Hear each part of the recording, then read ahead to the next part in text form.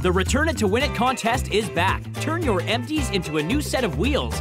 Visit a participating Return It depot and you can win an eco friendly ride.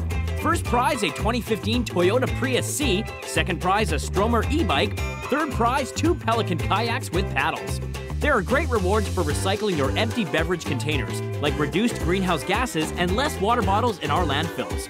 Last year, nearly 1 billion beverage containers were recycled in BC and turned into something new. This year, let's increase that number even more. Visit returnit.ca for contest details and a list of participating depots.